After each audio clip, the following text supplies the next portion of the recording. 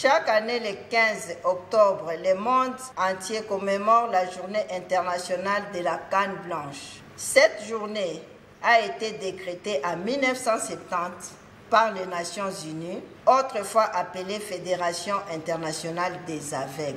La canne blanche est un symbole de cécité et de malvoyance qui permet aux personnes aveugles et malvoyantes de se déplacer dans la rue et autres lieux publics, prévenant ainsi automobiles et piétons de leur handicap.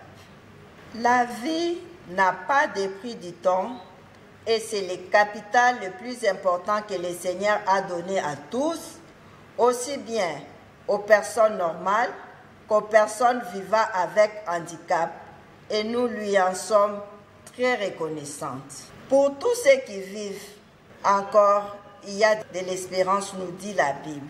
Ainsi, puisqu'ils vivent, nos frères handicapés en général, malvoyants et aveugles en particulier, ont également droit à l'espérance. Et nous devons la leur assurer par notre assistance. Le gouvernement provincial, par les biais du commissariat en charge des affaires sociales et actions humanitaires, accompagne les structures des personnes vivant avec handicap, dont les malvoyants et les aveugles.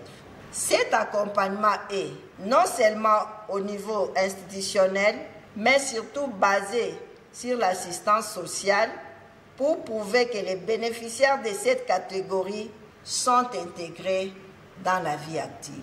Ainsi, mes très chers compatriotes, à l'occasion de cette journée internationale des cannes blanches, nous sensibilisons les publics à considérer cet outil combien précieux pour faciliter chaque jour la mobilité des déficientes visuelles.